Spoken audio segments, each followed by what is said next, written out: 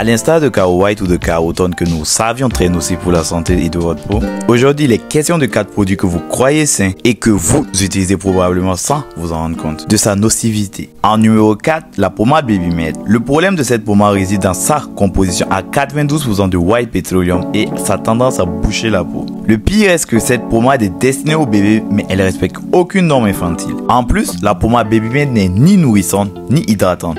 Elle emprisonne juste l'humidité de votre peau une véritable catastrophe pour une peau sèche. Imaginez les dégâts à long terme sur un bébé africain vivant dans un pays chaud. En numéro 3, BB Clear. Utiliser le lait ou le sérum BB Clear, c'est se donner les moyens d'abîmer sa peau par les végétaux et surtout, la pommade BB Clear a tendance à boucher la peau avec ses actifs qui génèrent des boutons très durs au visage. Plutôt surprenant, mais en numéro 2, nous avons la pommade de soins Sivodem. En réalité, ce qui rend dangereux cette pommade de Sivodem, c'est l'ajout inutile de chanvre qui nous le savons sur des peaux fragiles, ça va être très dangereux. Également, sa conservation dans des boutiques très chaudes en Afrique n'arrange pas l'affaire. Vous n'êtes absolument pas au bout de vos surprises avec la pommade de Saint-Sivodem. En plus d'être vraiment très salissante sur vos draps et vêtements, elle est bourrée de paraffine. Enfin, en numéro 1, le lait de corps Power Power. Ne vous fiez jamais à ce produit. Il vous donnera vos résultats de dépigmentation souhaités rapidement, mais le goût amer, des végétaux apportés comme des tatouages, la perte d'élasticité de votre peau et un vieillissement prématuré pourraient devenir votre quotidien.